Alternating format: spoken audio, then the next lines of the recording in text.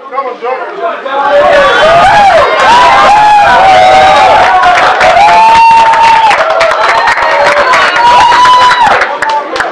evening, EMC disciples!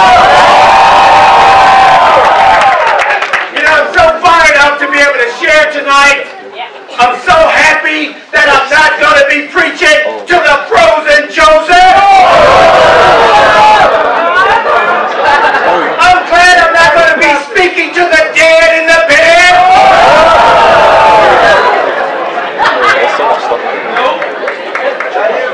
I remember all of you and I know you're a part of the Alive in 95. You know, it's so great to be able to be here tonight. I'm so excited. Can I get comfortable and just be Come on. I love the city of London and the disciples in the London sold out movement. I've been crying since I've been here. Everything I see reminds me of the good old days back in 1995. Come on! I appreciate the greeting at the airport. It was so awesome to get off the plane and see disciples there to greet me. And of course, James Gordine was there. And he encouraged me like nobody else. He came up, bro, it's so great to see you. Thank you for disfellowshipping me.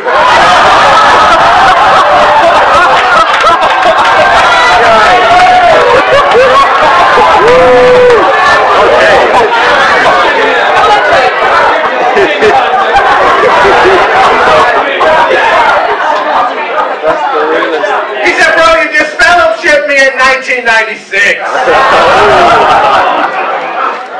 James, I'm sorry, bro. No, no, no. Thank you. Because I went away and I came back and I got my life back with what God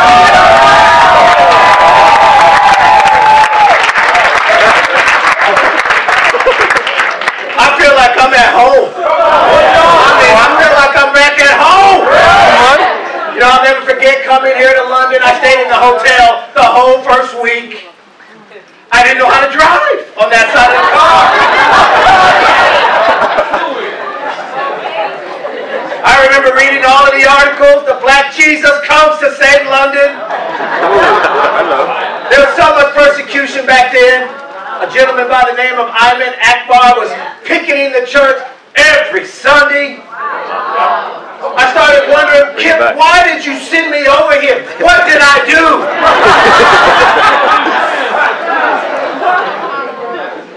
I'll never forget our first service. Was up there preaching the word. You guys weren't saying the word back. Oh! Oh!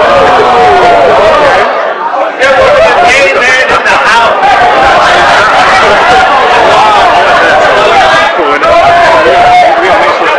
Y'all don't know how to treat Americans. So I did what any American would do.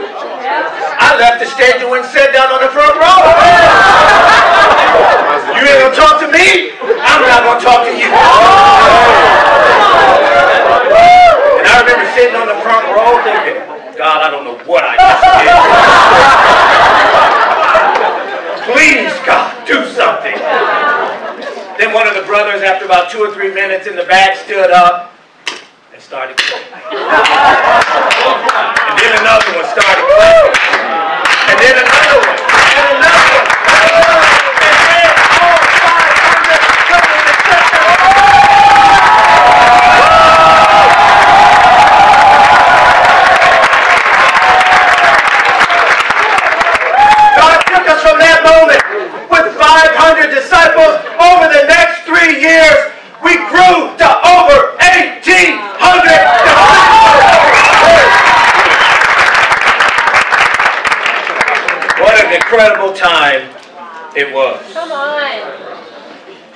thankful for Kip and Elena.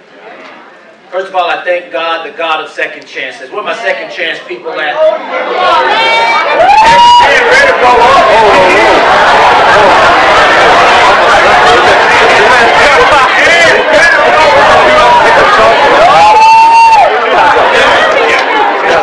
Where my 10th chance people at?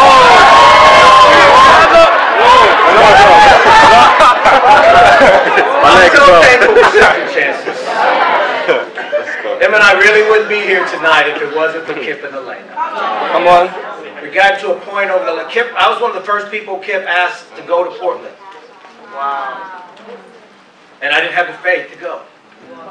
He was my friend. He was my discipler. Come on, John. Come on, John. And I didn't have the faith to go. Man, I said, oh, Come on, John.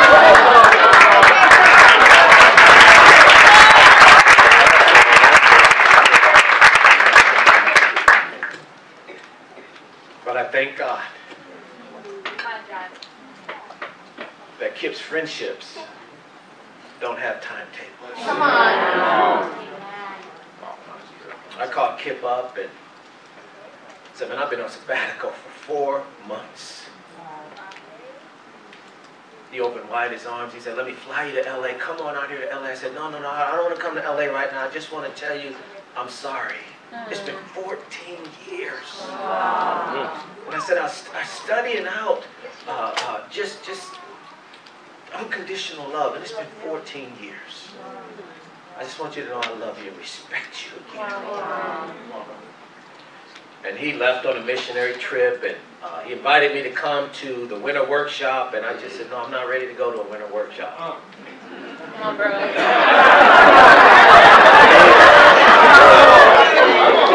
It was great to be forgiven, but I wasn't ready for a winter workshop. I needed some more sabbatical. Kip didn't give up on me. He and Elena kept praying for me and Emma. When they got back from the missionary trip, uh, they had us over to their house for dinner, and, and they made us feel the most incredible, unconditional love that I've ever felt in my entire life.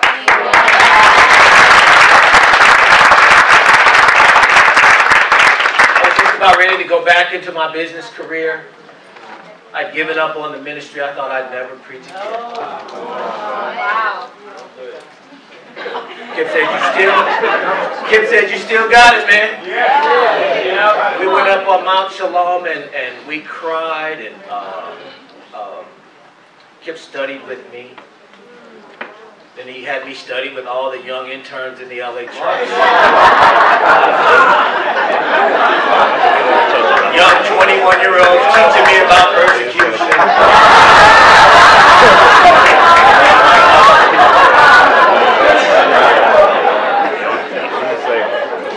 Do you know who I am? it was too much. It was so God worked in incredible ways. I appreciated every one of those studies. Not only did we uh, have an opportunity to obtain incredible relationship with the youth, it's been so long since I've been around fired up 21 year olds. Amen.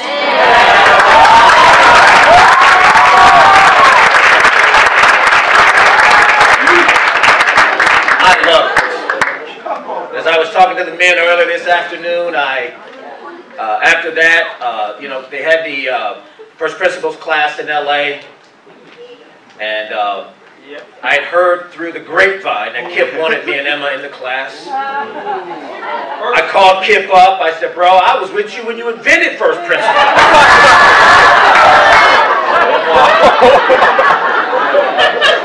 you know how Kip is gave me the little quiet hit there, and I thought, okay, maybe he's gonna let me out.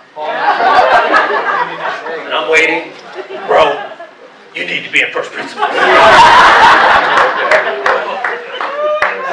so him and I made the decision to go and be the best first principal students ever.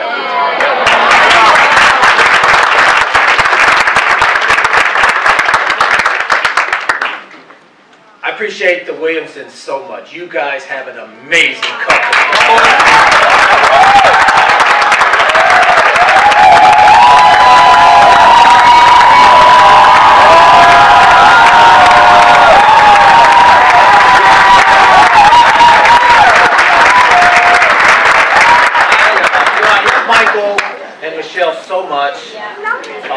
Michael just my soulmate. You know, uh, when, when I was going through, literally, when I was going through my difficult times there, and uh, Kip was and, and Elena were working with us, Michael called me more than anybody. Wow. When I left the ICOC, my phone stopped ringing. Wow. I didn't have a friend in the world. Wow. And Michael called me, Come prayed Michael. for me, Come reminded me that I still have something left.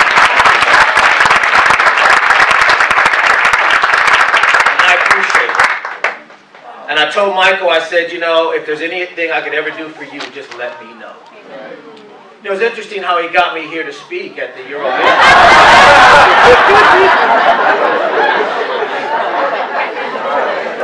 I've just been minding my own business, doing my ministry in LA. Michael calls me up, bro, you believe in free speech? I said, absolutely I believe in free speech. Come on over to the Euro Mission Conference and get one then.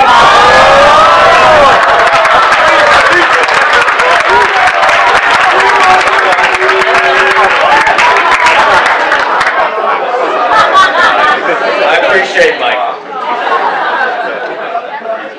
So much. A united kingdom. Can we get down to business? Come on. A united kingdom conquers all kingdoms. Unity is who we are, brothers and sisters. It's what holds us together.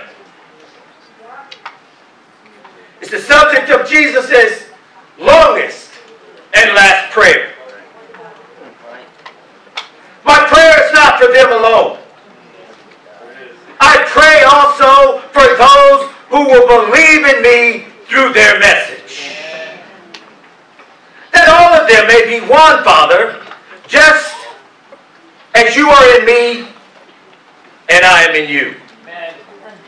May they be brought to complete unity so that the world may believe that you have sent me.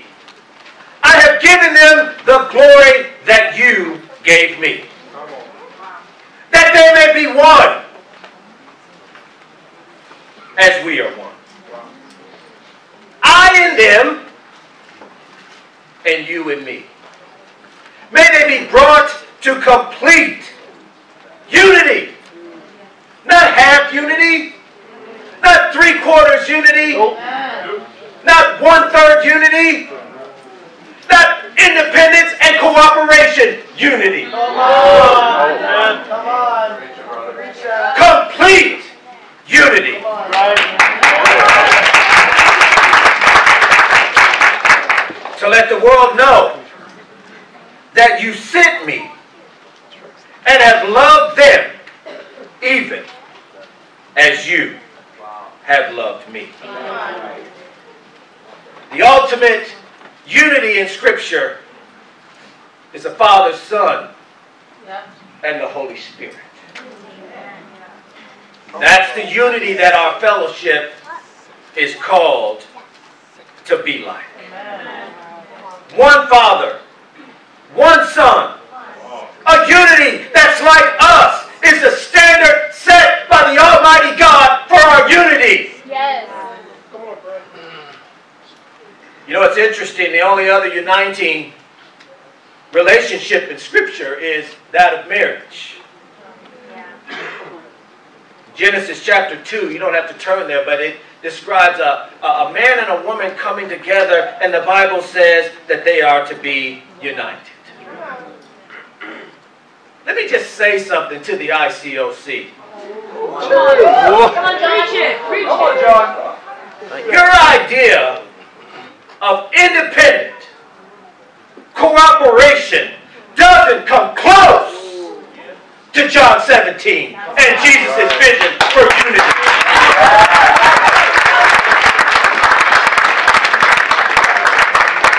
Married women, Come on. Come on. Come on. Come on. how would you like to be married to a cooperating brother?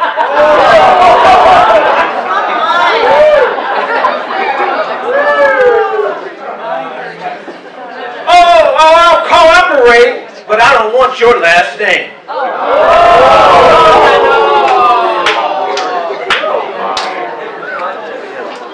Jesus says the standard of unity my relationship with God. Preach.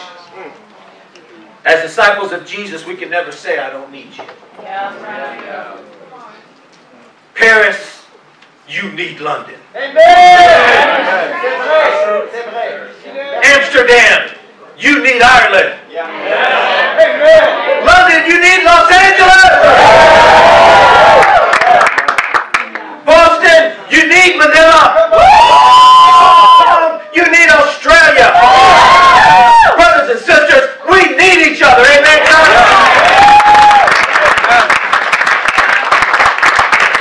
You know, we've got to live the conviction and understand the good old saying that united we stand, divided we fall. Be assured of this if we're not united, we will fall. How do you guys like this room? Nice, right? Fancy, fancy. Cool. You know, I, I particularly like the lighting in this room. I like the blue lighting over there, the wall sconces. Come on, bro. You know, I really like the recessed lighting over here and, and over here. And, and, and the reason these lights are not able to hurt us is because they're not focused on one point. Right. Right. But if you take these lights, and we're described as the light of the world, right, church? And you intensify them, Come on. and you focus them on a single point, Come on. And you turn up the, the, the volume and the intensity to laser level, Come on. they can break through a wall.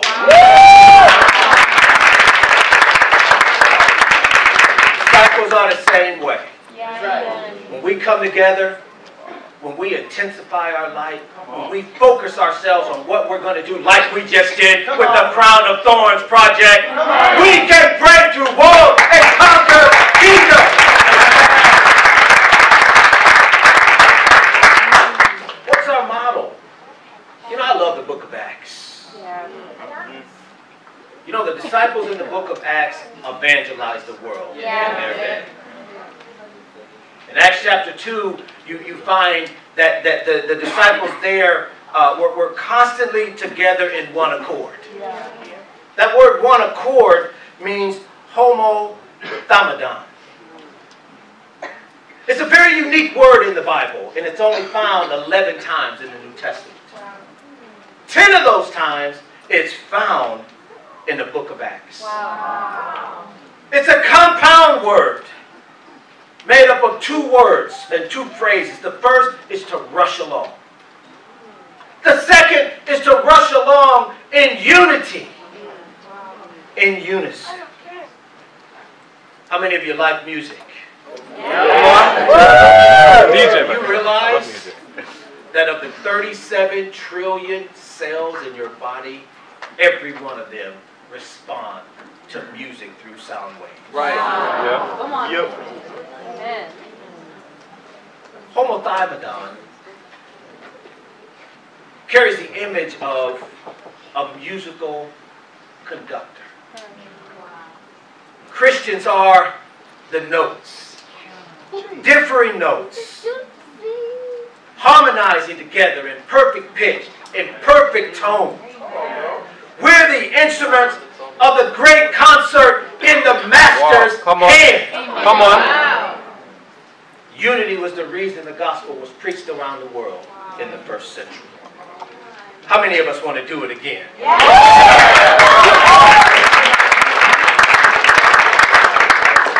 Let's get over to our text in Hebrews chapter 11. I was told I could go as long as I want.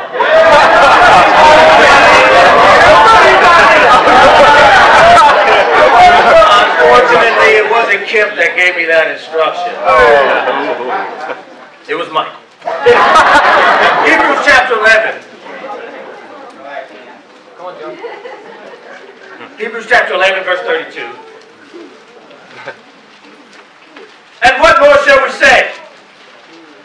Not have time to tell about Gideon, Barak, Samson, Jephthah, David, Samuel, and the prophets, who through faith conquered kingdoms, administered justice, and gained what was promised, who shut the mouths of lions, quenched, quenched the fury of the flame, and escaped the edge of the sword, whose weakness was turned to strength, and who became powerful in battle and routed foreign armies.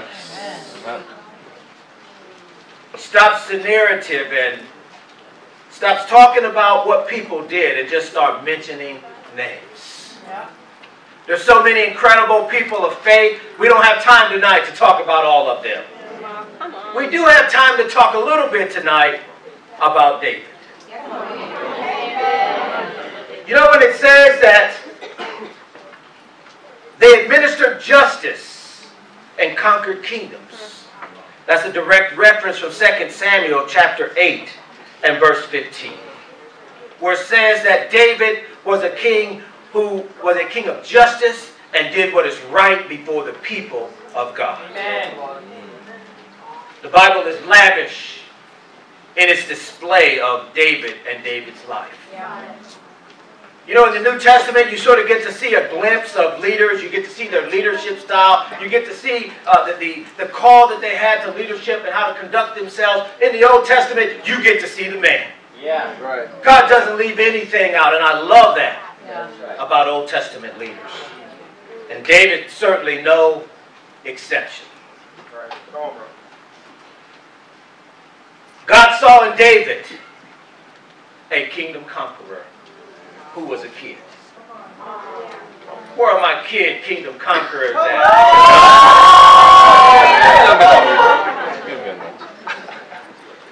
Look over at 2 Samuel for our text. United kingdom conquers all kingdoms.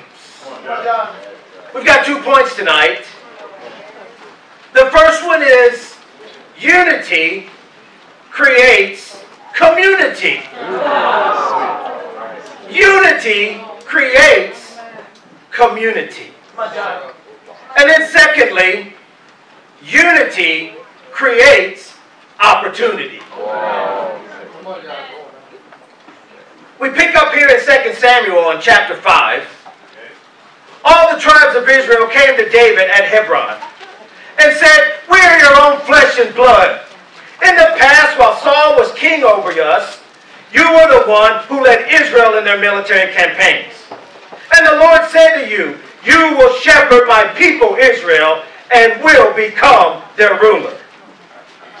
When all the elders of Israel had come to King David at Hebron, the king made a compact with them at Hebron before the Lord. And they anointed David king over Israel. David was 30 years old when he became king. He reigned 40 years. In Hebron, he reigned over Judah seven years and six months. And in Jerusalem, he reigned over all of Israel for, or, and Judah for 33 years. You know, we find here in 2 Samuel 5 where God's people are coming out of an intense civil war. Israel has faced years of domination from the Philistines, some 400 years of domination. The 12 tribes of Israel are deeply divided. The 10 tribes in the north, the two tribes in the south, Benjamin and Judah. Israel is experiencing a time of incredible difficulty in its history, primarily due to division. The Bible says in 2 Samuel chapter 3 that the house of Saul grew weaker while the house of David grew stronger. Saul is had the spirit depart from him. God says, I regret that I even made you king. I wonder tonight if God has any regrets about anyone here. I wonder if God regrets making you a Bible talk leader. I wonder if God regrets making you a women's ministry leader. I wonder if God has any regrets here tonight.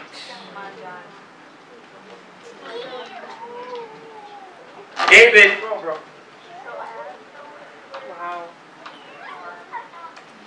leads to north, and, or that leads to south, and later on we find that Saul is killed by the Philistines and falls on the sword. He's replaced by Ish-bosheth, who leads and takes over the regime in Israel for two years. Two Anakites come to his palace while he's sleeping and cut off his head. And now there's an opportunity for David to become king. The Bible says here in chapter 5 and verse 1 all the tribes of Israel came to David Wow. at Hebron. Wow. I actually like what it says in First Chronicles chapter 12 even better. Turn over there with me real quickly. Great. In First Chronicles chapter 12, it describes when they come to David. It says all these were fighting men who volunteered to serve in the ranks. They came to Hebron, fully determined to make David king over Israel. All the rest of the Israelites were also of one mind to make David king. The men spent three days there with David, eating and drinking with their families and supplying provisions for them. Also, their neighbors from as far away as Issachar, Zebulun, and Naphtali came, bringing food on donkeys, camels, mules, and oxen. There were, plentif- there were plentiful supplies of flour, fig cakes, raisin cakes, wine, oil, cattle, and sheep, for there was great joy in Israel. Come on. What an incredible time. God's people have been divided for so long, and now they're brought back together. Because unity in leadership creates community. Go back over to 2 Samuel. Wow. Come on. Come on. God's people finally want what God wants. It says in verse 2 In the past, while Saul was king over us, you were the one who led Israel in their military campaigns.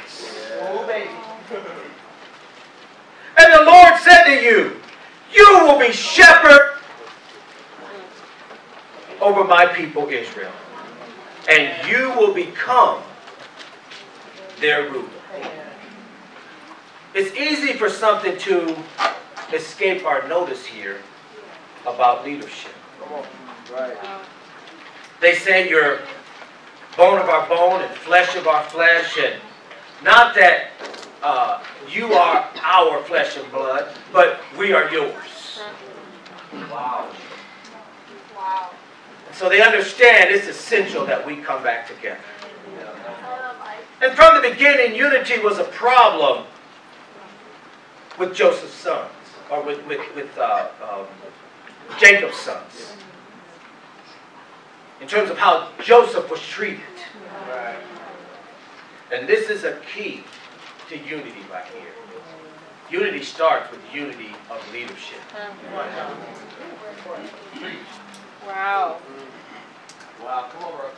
You know, it's interesting in our family. You know, when we were here in London, uh, we just had two children, Tyra and Jonathan. And, um, you know, when the kids were young, and, and certainly they're the joy of our lives, but, you know, if you have just one kid, you're, you're, you're kind of lucky. With, with two or more kids, you have to deal with what is known as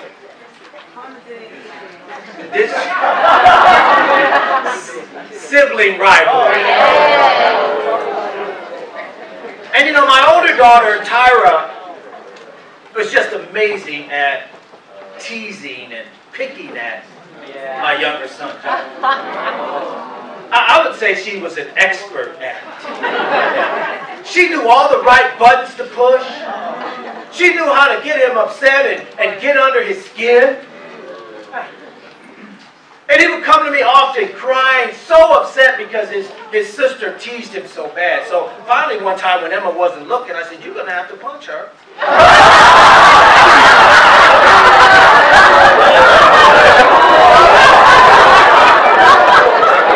You have to punch her in the arm, son. And, you know, he looked at me like, that doesn't sound like a minister talking.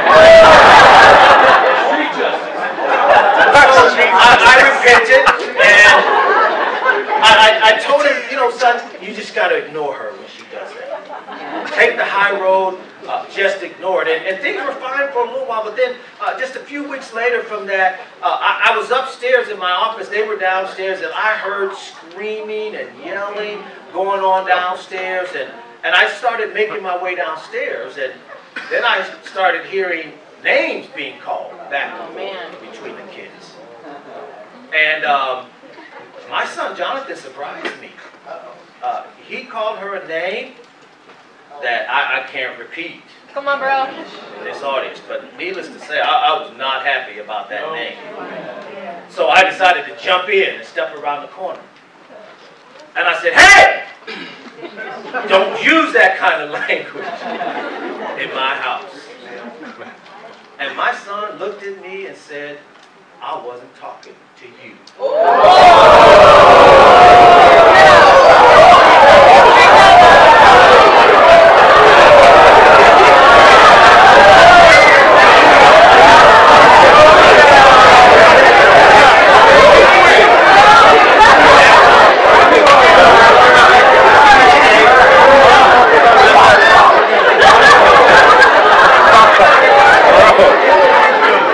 That's exactly what I said.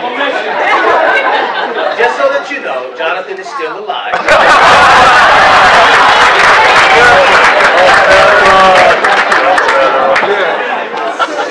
But after that day, leadership kicked in and the civil rivalry was over.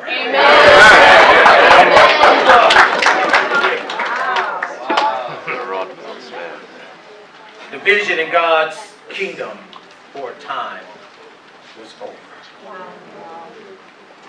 The people of God were united under David's leadership.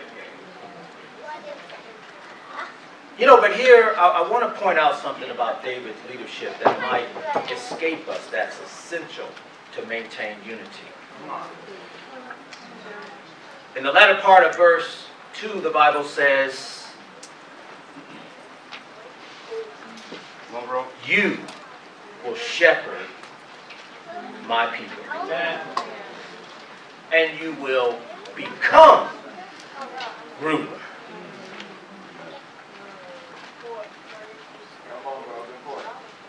You shepherd, then you rule. You can't rule what you haven't shepherded.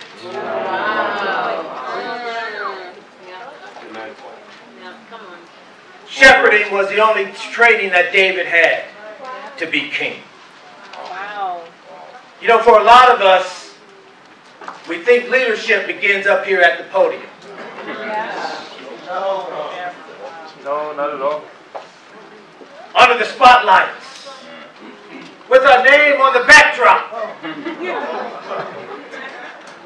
Spiritual leadership begins on the back row. It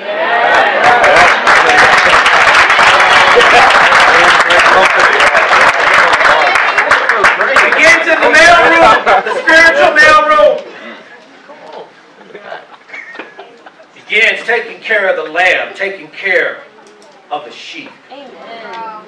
Some of us as leaders aren't doing as well as we could do because we ran to the elevator instead of running to the ladder. Wow.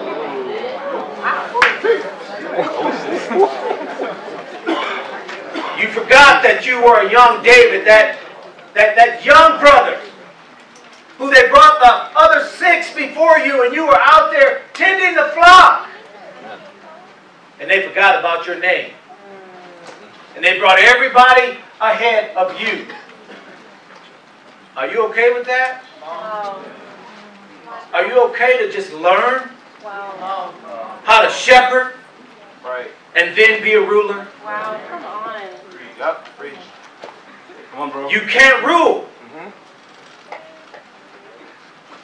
what you haven't shepherded. Come on. Yep. Come on. Preach that, bro. David was such in a warrior because he cared so much about God and God's people. Wow. They said, You led on military campaigns. You fought for us on the front line. You defeated Goliath. Wow. You know what? Goliath could not be beaten by a military man. Goliath had to be beaten by a shepherd. I suggest to use today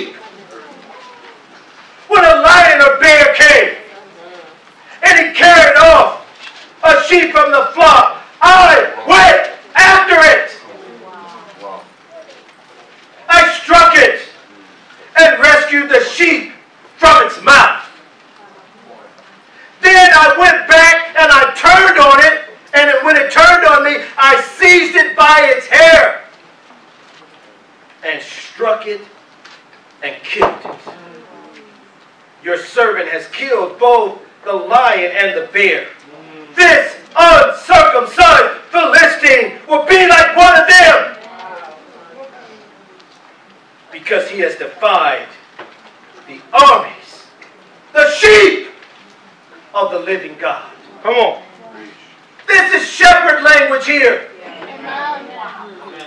How did David even get the chance to fight Goliath? He said, Saul, I'm a shepherd.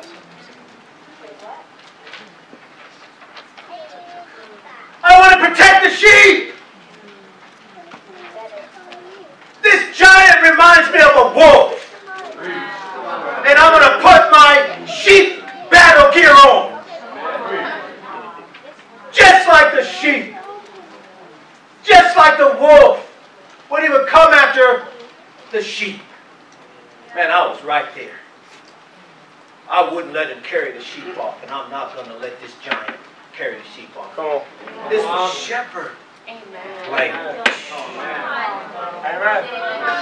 You can't rule what you're not willing to lay your life down. Why was David a man after God's own heart? Because God has the heart of a shepherd. Amen. John 10. Come on, bro. Talk something. John 10. You want to baptize thousands of people. Shepherd, then rule. John 10, verse 11. Come on, John. Jesus says, I'm the good shepherd. The good shepherd lays down his life for the sheep. The hired hand is not the shepherd who owns the sheep. So when he sees the wolf coming, he abandons the sheep and runs away. Then the wolf attacks the flock and scatters it. The man who runs away because he is a hired hand and cares nothing about the sheep. I am the good shepherd. I know my sheep, and my sheep know me. I don't want to hear what kind of ruler you are tonight. I want to know what kind of shepherd are you. Show me what kind of shepherd you are, and I'll show you what kind of ruler you are. Kip and Elena are amazing rulers because they're phenomenal shepherds. You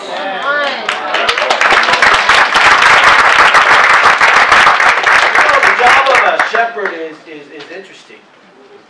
You know, by, by day, the, the shepherd uh, gazes over and, and watches the sheep. By night, they gather the sheep and, in their, make, uh, their, their, their makeshift sheep pen by, by stacking, by stacking rocks together and sticks and, and branches and thickets to, to go over the fence. But there's always a small opening in the front of a sheep pen.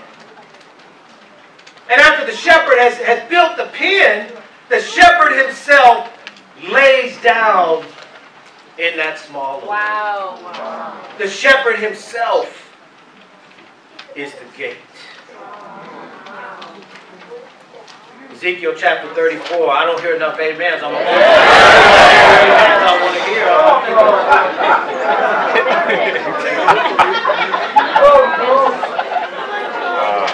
You know, one of the uh, gang members in our Metro Heights region, he says, "Preach, OG." Like, man, I'm not an old gangster. I was calling you an old gangster. I was calling you an old godly. I'm like, Ezekiel 34.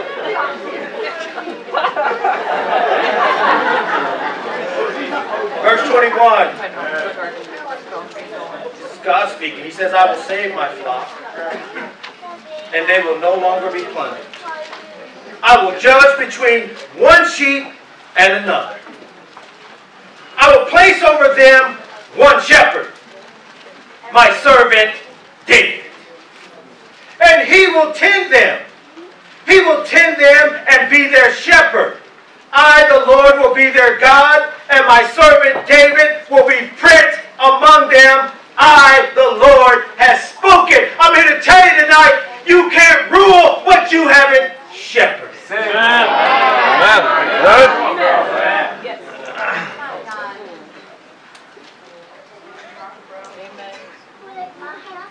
David was a man after God's own heart. Yeah. David got God. You know, I, I just had to really get humble Oh. about this in my own life. I'm like, do, do I understand God the way David did? Look in Psalms 23. Oh, well, I'm, I'm, I'm hearing enough amens. I- I- Just stop after this. Psalms 23. Psalms 23. Come on, John.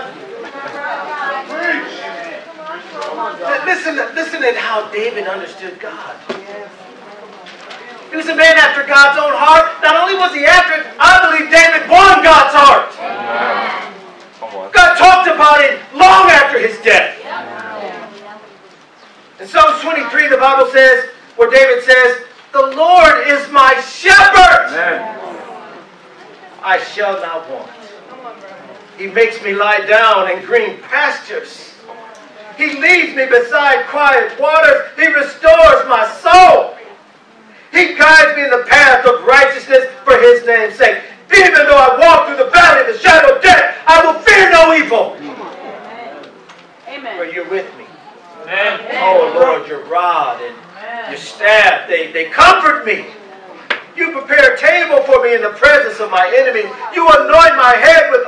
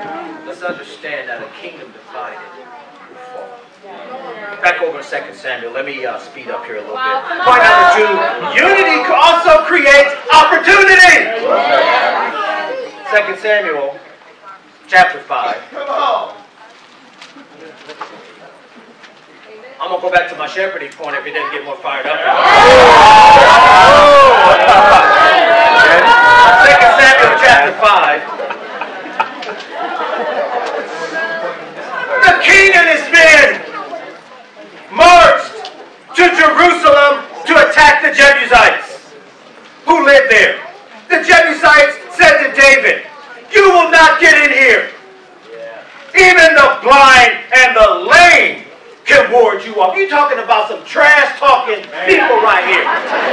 You can't even beat our blind and our lame. I wonder if there are people in London talking about our church like this.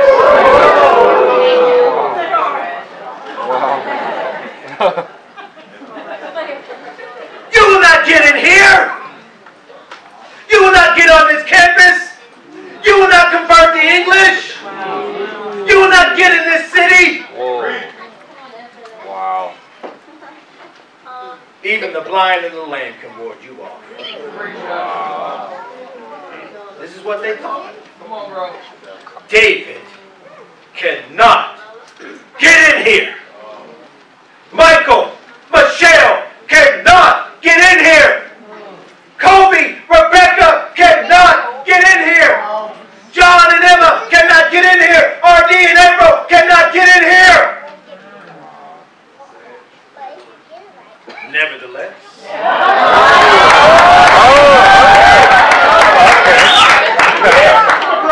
nevertheless. David captured the fortress of Zion, the city of You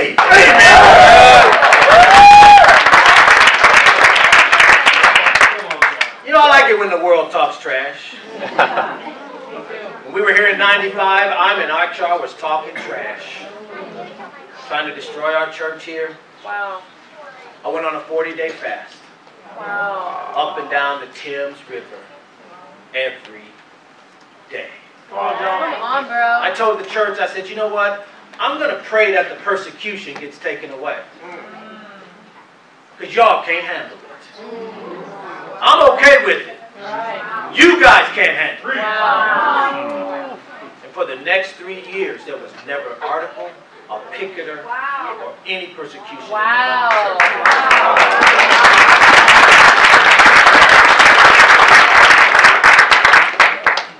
You know, our next door neighbor has this big old black poodle dog.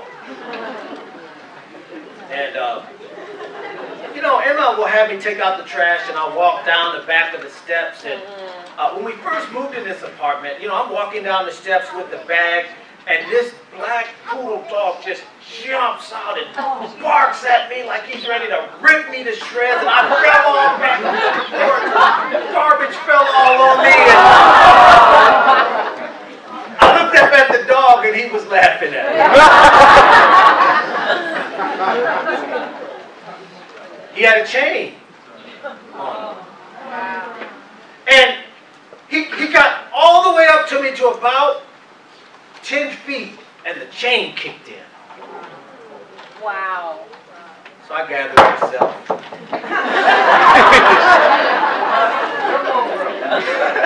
Oh my God. Next morning, I go back down the steps he jumps out at me again and I just stand there like Come on. And I walked over and did this. Come on. Because he's chained. If he wasn't chained, it'd be a different story. But he's chained. And I mock him. Oh, your bark is bigger than your bite. I tell him. And I tease him almost every day now. I'm almost over it. You know, I'm, I'm slowing down my teasing a little bit. When it comes to that dog, I'm unconquerable. Because he can't get to me. And yet there are a lot of unconquerable things that we allow in our lives. Things that have a history of mocking us, laughing at us, blind spots in our lives that are defeating us spiritually, impurity, lack of commitment, lack of sharing our faith, lack of giving the way God wants us to give. And these things keep mocking and mocking and mocking us. It's time for some nevertheless Christians. It's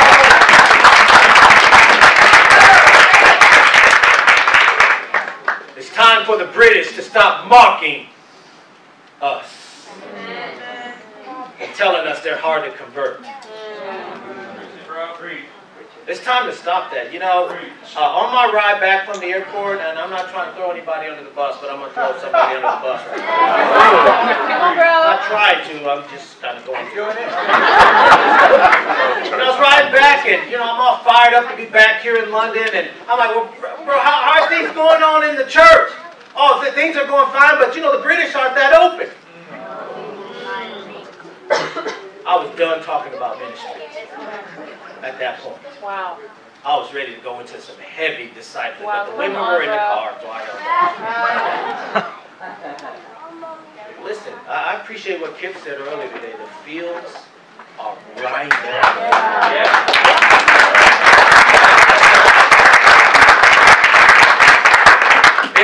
Was told, You're a great artist, but you only have one ear. You can't hear. He replied, You're right. I can't hear. I only have one ear. And that ear only listens to God.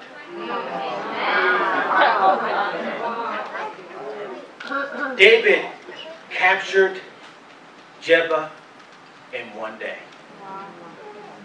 Nevertheless, in one day, Jerusalem, Jebus became Zion, Wow. city of peace. Wow, wow. A few weeks later, the Ark of the Covenant was brought there.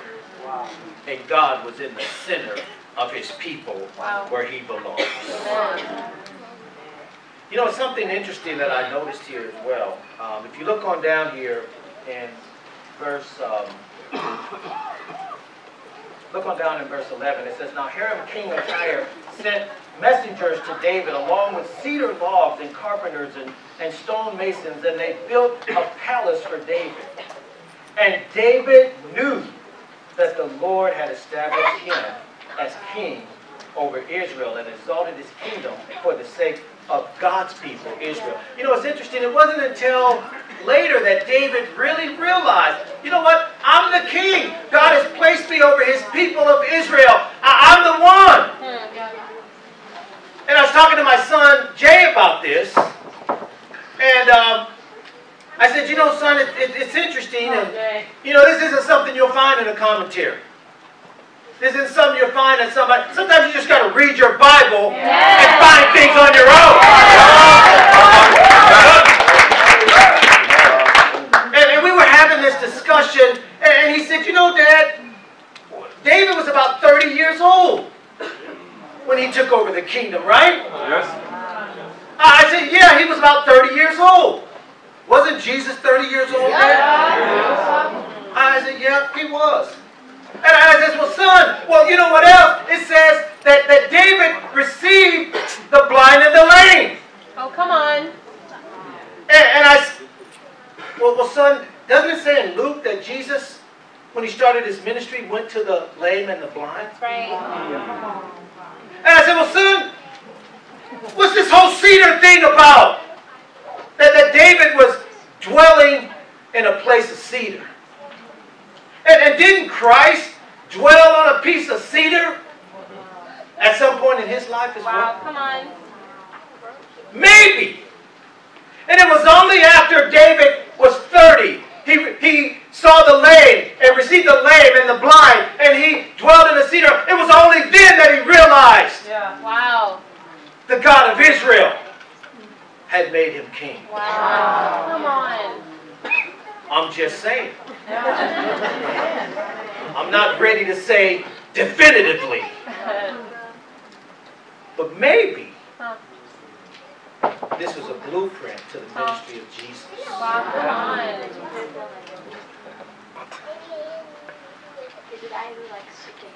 You know, we were told at USC that we could convert students.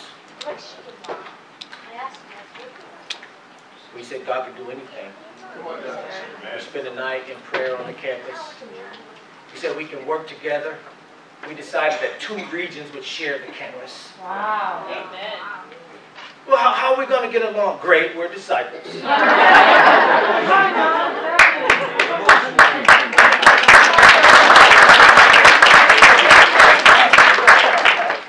We need young leaders in LA. Yeah. Amen. We went on the campus, we invited over 2,000 students in one weekend. And as of last week, we baptized four USC students.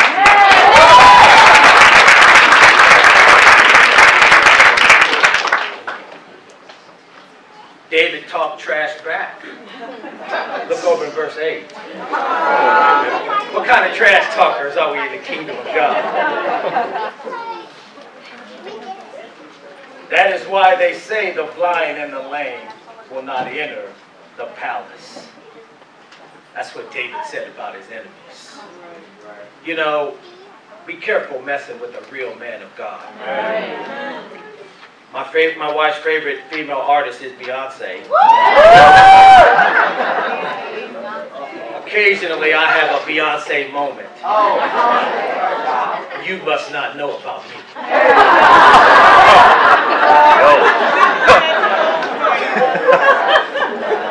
Let's begin to wrap up in verse 17. When the Philistines heard that David had been anointed king over Israel, they went up in full force to search for him. But David heard about it and went down to the stronghold. You know, it's interesting when we unify, when we get united, old enemies start resurrecting. That's true. That's true. People don't like what's happening in God's new movement. Oh. I don't have time to talk about it. But the Bible says that, that David went to a stronghold. The Philistines concluded, we better get to David now before he gets too powerful. Satan wants to get to us now before we get too powerful. Amen. Wow. Hmm. David went to his stronghold. You know, Kip talked a lot about our prayer rooms, our war rooms. Wasn't it awesome at the GLC? But what did you do when you went back home? Hmm. I know what Tim and Leanne did. They went and ripped their closet out. Wow. Put a prayer bench in there, Amen. put stands for their Bibles, and created a prayer room Amen. right in their home. Come on. But what about you? Where, where's your stronghold? You say, well, I, I don't need a stronghold. I, I, can just pray whenever I want to pray. Really? Mm. You, you're more spiritual than Jesus. Do you realize that Jesus had a war room? Look over in uh, Luke chapter 21. When David needed strength, he went to his war room. Luke 21. Jesus had a war room too.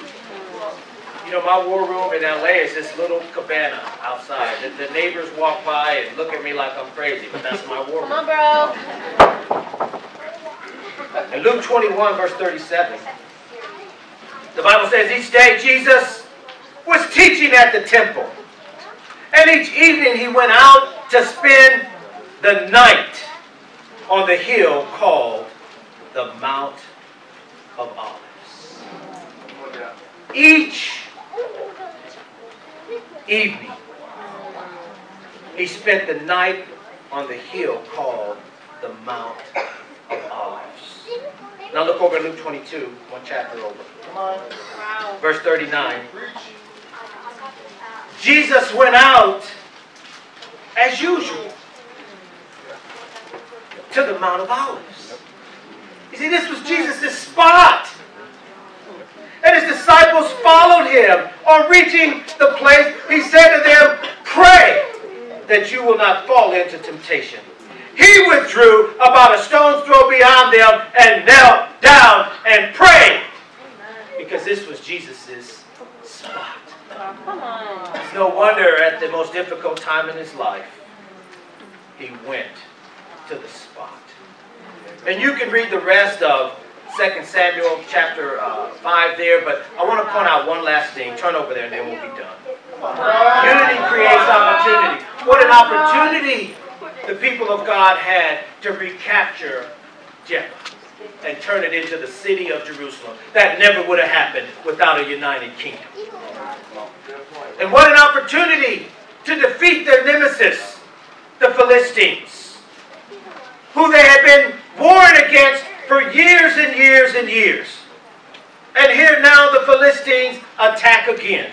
David goes to his stronghold. He prays to God. He moves God. God, tell me what to do.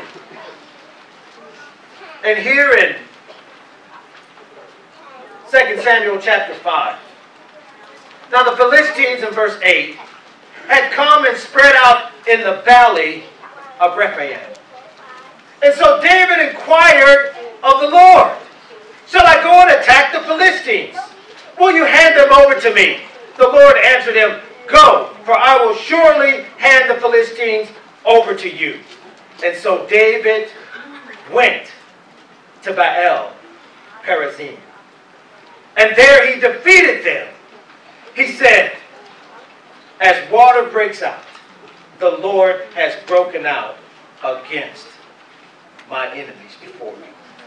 And so that place was called Baal Perazim. We find here that the Philistines had gathered in the valley of Rephaim. The Philistines had gathered in the valley. David prays and he goes to Baal Perazim. They had gathered in the valley of Rephaim. David goes to Baal Perazim. Okay.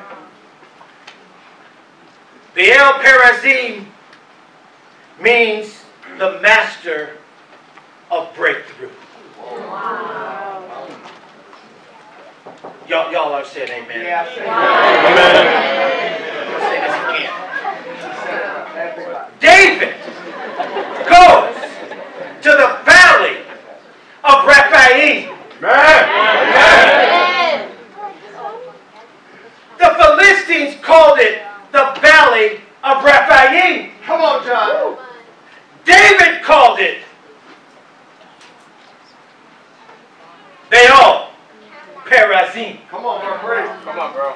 Y'all still didn't get it. Say it one more time. One more time. One more again, bro. The Philistines Yes. called it Rephaim, the valley of Rephaim. David goes there and calls it Bel Baal Perazim.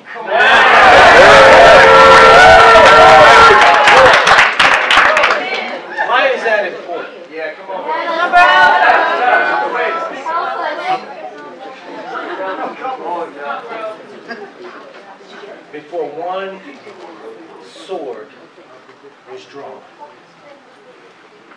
David said, This place is the master of breakthrough.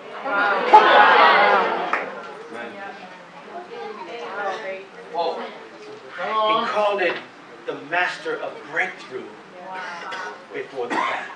Wow. Good point. You know, when we decided that Alive in 95 would be Alive in 95, Yep. Mm-hmm. We called it Alive in 95 in 94. Amen.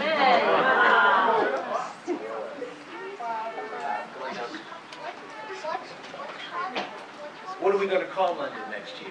Tonight. Whoa. What are you going to call your region tonight? What are you going to call your Bible talk? Tonight? Oh you see, we're, we're a united kingdom. Committed to conquering kingdoms. My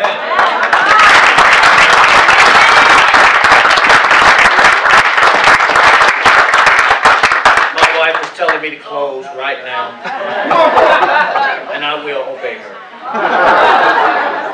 Look over to John 17 real quick. Let's close where we started.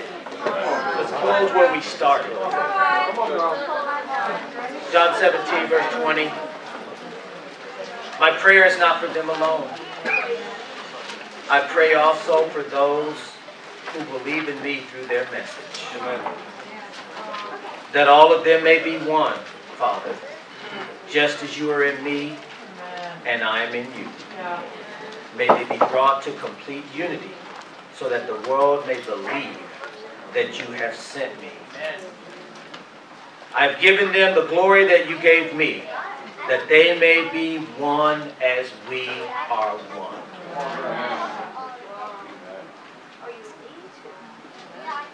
I and them, you and me. May they be brought to complete unity so that we might conquer the kingdoms in our generation. Amen. God be the glory.